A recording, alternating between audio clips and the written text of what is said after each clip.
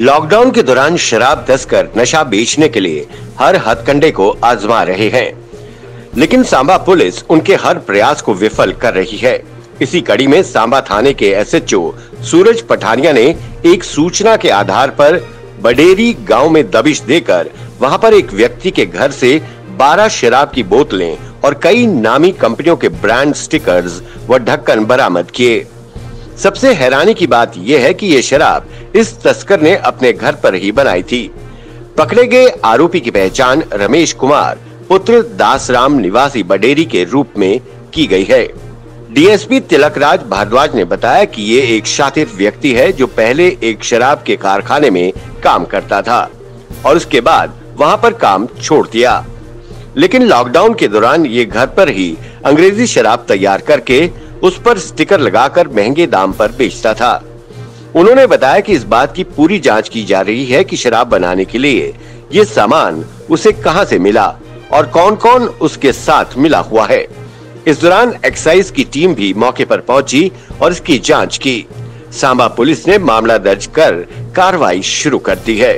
हमें पिछले कोई तकरीबन एक हफ़्ते से शिकायत मिल रही थी कि बधेरी इलाके में एक शख्स है, जिसका नाम रमेश कुमार सनाब दासराम है।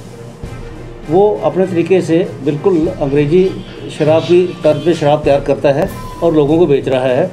इस शिकायत पे काम करते हुए थाना पुलिस सांबा से कार्रवाई अमल लाते हुए इसके ऊपर रेड किया गया और तलाशी पर अमल लाने पर इसके घर से और इसकी तवील से 12 बोतल शराब जो बिल्कुल सही तरीके से देखने से भी और उसकी जो शक्ल, सूरत सब बिल्कुल अंग्रेज़ी शराब की जैसी बनाई हुई, इसने खुद बनाई हुई, तैयार की की हुई, बरामद हुई।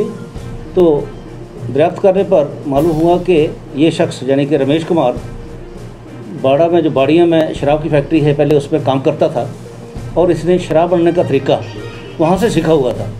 तकरीबन बारह साल पहले ये किसी अपने मसला की वजह से वहाँ से काम छोड़ चुका हुआ था। चूँकि अब शराब जो है वो कहीं भी दस्याब अवेलेबल ना है मार्केट में तो उसका फ़ायदा उठाते हुए, उस चीज़ को ध्यान में रखते हुए इसने ये शराब बनाना जो है वो शुरू की और लोगों में बेचना शुरू की। तो इसकी, जो इससे हमें बरामद हुआ है, उसमें बॉटल्स हैं, खाली जो ढक्कन होते हैं, जो उनको ढक्कन को सील करने का तरीका है। Bureau report, the earth news.